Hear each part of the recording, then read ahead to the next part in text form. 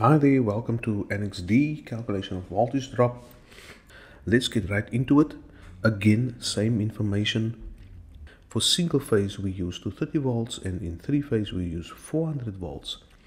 Now once again, 5% uh, maximum allowable voltage drop of 230 volts is 11.5 and it will be 20 volts for 400 volts. For 380 it would be 19 volts and to 20 volts it would be 11 volts.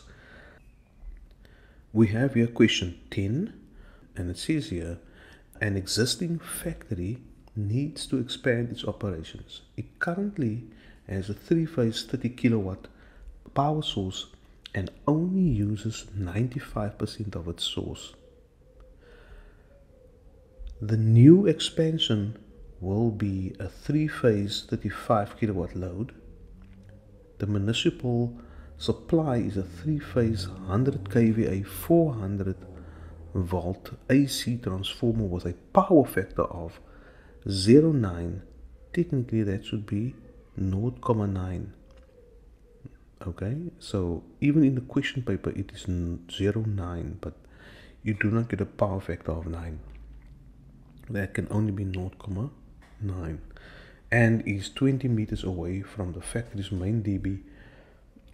The supply cable is armored copper cables buried directly in trenches underground. Method 3. A new cable will be added to the ex uh, existing one in parallel. Table 64A and table 64B is attached uh, in the question paper so I can only imagine that this would be used for our calculations. 10.1 would be calculate the minimum size of the existing cable and give a reason for your answer. Also 10.2 would be calculate the size of the new cable to be added and give a reason for your answer for 5 marks. And then 10.3 would be calculate the total expected voltage drop for the installation after the new load is added and give a reason for your answer for 2 marks. Right, number one goes like this 10.1. It says calculate the minimum size of the existing cable and give a reason for your answer for three marks. Firstly, calculate the current, but which info do we use? So we have three phase 30 kilowatt power source and it only uses 95% of its source. This is a problem. How do we interpret this?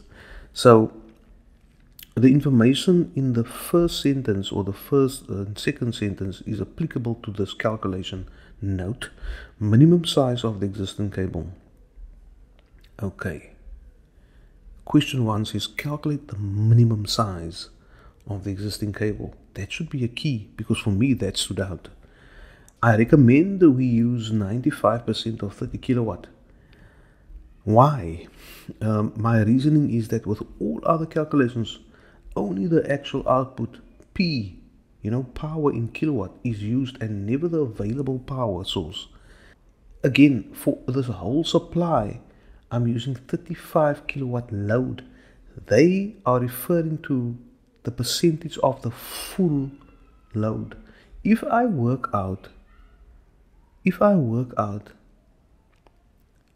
the, uh, how can I say, the amps or the power for the full load, then I would find that it is not 35 kilowatt. But 35 kilowatt is what is drawn from the new supply or what is expected to be drawn from the new supply.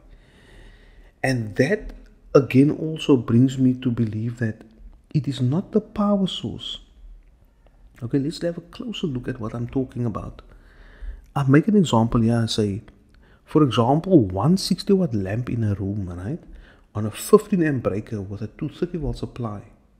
The voltage drop will be calculated for the 60 watt lamp and not for the power source, which interpreted in this case to be P equals 230 times that 15 amp supply that is available.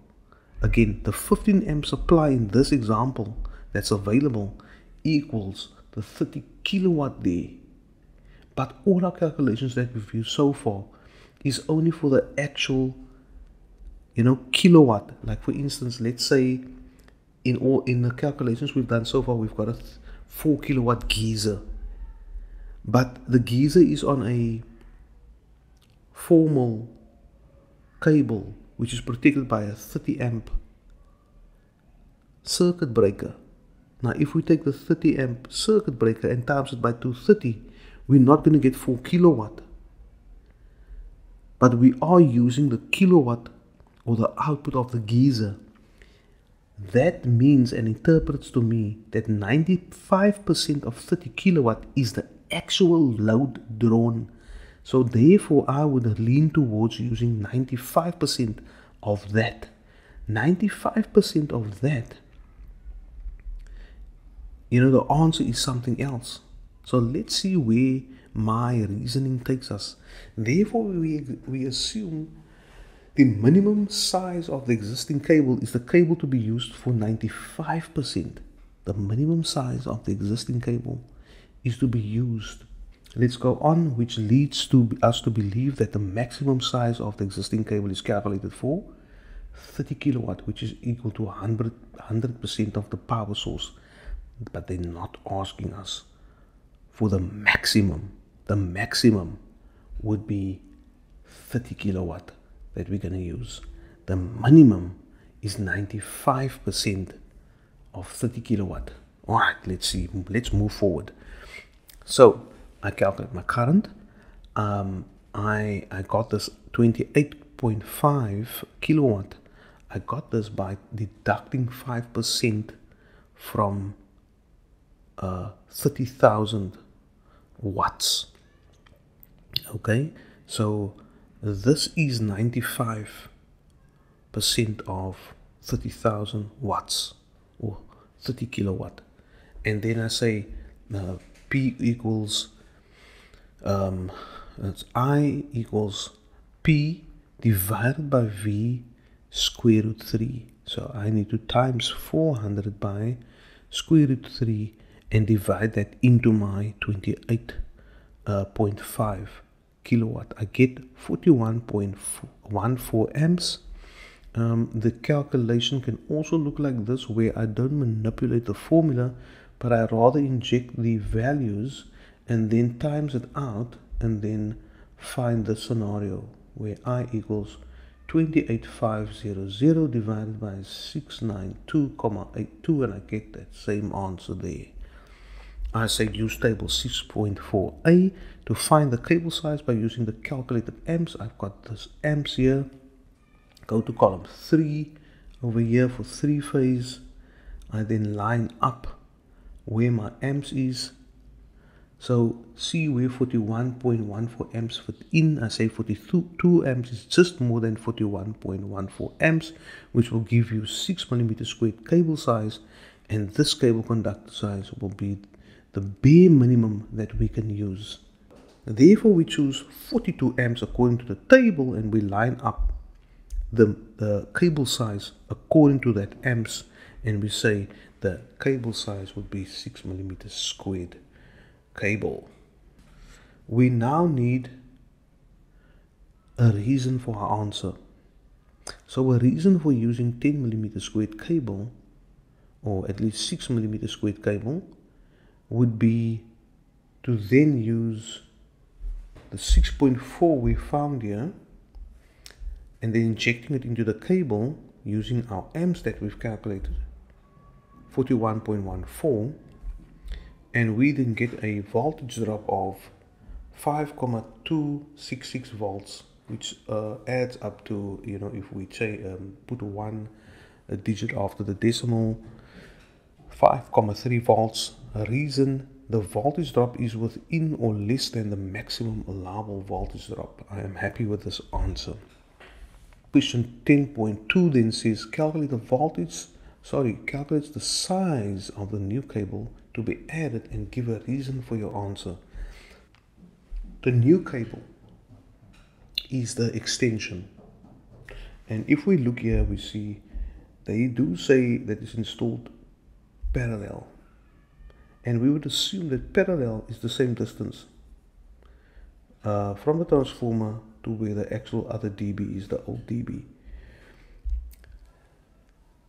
I calculate my amps and I use a formula of P equals VI square root 3. So in three phase, it is it looks like the same formula except for we uh, we times square root 3 because of the three phase. I manipulate that formula and I get I equals 35,000 divided by 400 times square root 3 I get 50,52 amps. And I use also another format um, of calculating uh, except for in this case in this formula I don't uh, multiply out or make the subject of the formula and uh, I then inject the values and I times it out and I get this at the end of the day I equals 35,000 uh, divide by 692,82 and I get 50,52 amps. Then I say use the table 64a to find the cable size by using the calculated amps. I use that calculated amps and I then line that up. I say go to column 3 on the table and see where the 52,5 to fit in it is definitely more than 42 amps for a three-phase cable. I cannot use that value. The next value is 58 it, it falls within that range. I then line that up with my cable size and I come to a cable size of 10 millimeter squared cable. And this is a reason why I can use 10 millimeter squared cable for my second uh, supply cable. So um, is there another reason why I can use this cable? I say maybe. Let's see. I, I calculate the actual voltage drop using that cable size. So I go to the, the, the table that gives us the, the millivolt per amperemeter uh, uh, value, which is 3,8. I use 10 mil, I use 3,8 for three phase. I inject in that into that formula and I get a voltage drop of 3,84 which is a great answer. The voltage drop according to another reason for this cable is within or less than the maximum allowable voltage drop. So for 5 marks I can possibly do this if I wanted to just to substantiate my answer. Alternatively, um, if we wanted to use the information of 9, uh, 0,9, the power factor, this is what we would have come up with, is that the, the formula would look almost the same, which would be P equals V times I times the power factor times uh, square root 3. Now, just in short, power factor is also the cos theta. So if I had an angle, then I would say it is cos the angle and it would be the 0, comma 0,9 all right so um, I manipulate this formula and say I equals P divided by V times power factor times square root 3 I inject my values and I get 58,13 amps. Guess what? If I use that and I use the same table I go there uh, in that column and I find and I align my amps with the closest amps. 42 amps is too high. It falls within the 58 I lined it up with my cable size and I still get the same cable size amazingly. I then take that cable size and go and inject it into another uh, table or use another table for my millivolt per amp per amperemeter I then get a 3.8 value and I put that into a formula and I get to a voltage drop of 4,26 volts. Both these answers is not bad. I say the reason for the alternative is uh, the voltage drop is within or less than the maximum allowable voltage drop. So at the end of the day, I got to the same size cable and I got to the same answer. All right, for the alternative formula. Then, according to question 3, calculate the total expected voltage drop for the installation after the new load is added and give a reason for your answer. I say VD total with both loads, right? I then take, say, say VD total equals VD existing plus VD new. So I take the two voltage drops added. Alternatively, it can also look like this because we use two formulas and um, VD existing, then plus VD 4,26, and it still it comes to 7,39. Both these answers, uh, the reason for both answers, the voltage drop is within or less than the maximum allowable voltage drop. And if you look at the question, calculate the total expected voltage drop for the installation after the new load is added.